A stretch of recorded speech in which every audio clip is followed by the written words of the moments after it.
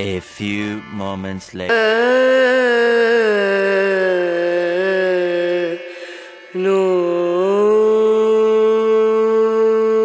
Auto में clamp लग गया था फिर मैं स्टेपनी बदल दिया था फिर मैं मालिक को फ़ोन करा था फिर उन्होंने बोला वहीं पे रुको मैं आता हूँ उसके बाद में ट्रैफ़िक ऑफ़िस चलेंगे और वहाँ उसका जुर्माना भर देंगे और माफ़ी मांग लेंगे उनसे, गलती का। ट्रैफ़िक ऑफ़िस आया, उसके बाद माफ़ीनामा लिखा, जुर्माना भर दिया और माफ़ी मांग लिया। मुझसे गलती हो गई।